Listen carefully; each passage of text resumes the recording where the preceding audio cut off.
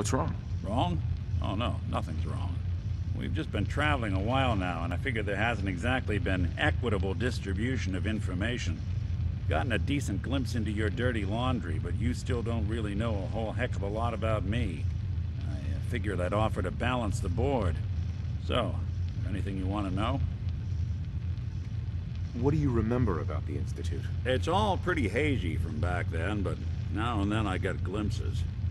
Life inside the Institute, they keep you isolated.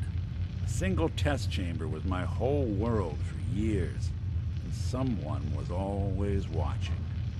Then one day you wake up on the other side, and that's it. They've cut you loose. Welcome to the brave new world, with such people in it. What's with the outfit? After I started the agency, it just seemed like the sort of thing a detective ought to wear. I got some old memories, pre-war.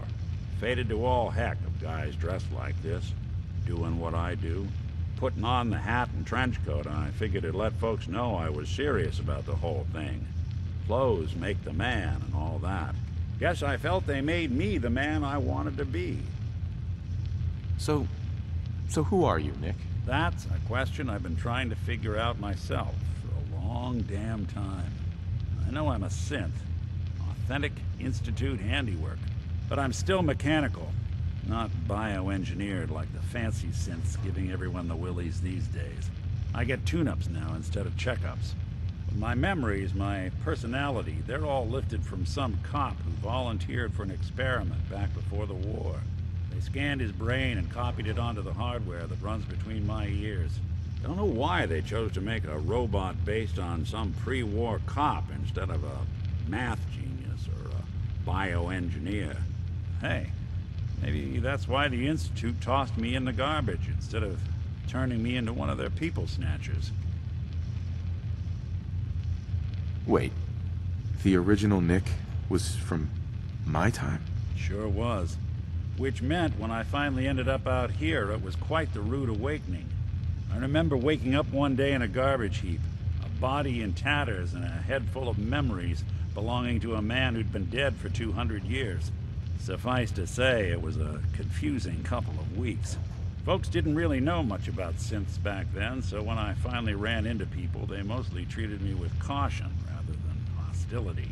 But the kids, they weren't afraid. I think his name was Jim. The first person to actually speak to me after I got the boot from the Institute. My first human contact in this world. Grilled me for an hour. Once they'd seen I wasn't going to hurt anyone, the other folks in the neighborhood came out to ogle the mechanical man. It eventually turned into a pretty swell soiree. The local mechanic even gave me a once-over, free of charge. Those people, they treated me like a human being. I've been trying to return the favor ever since. It's a surprisingly rare trait out here sometimes. It's something I've noticed you got a fondness for. Part of the reason I've stuck around this long. Where's that town? We should go visit. I Tried to go back and say thanks, once I'd gotten myself established. But the place was wiped off the map. Raiders. Don't know what happened to the people. If you're good to people, they'll be good back. That's something I've always believed. Couldn't agree more.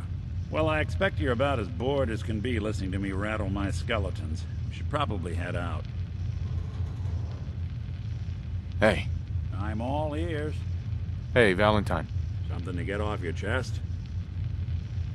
Your thoughts? Lead the way. Just wanted to check in. See how you feel things are going between us. Well, I like how you've been handling things lately, if that's what you mean. That's all for now. Got it.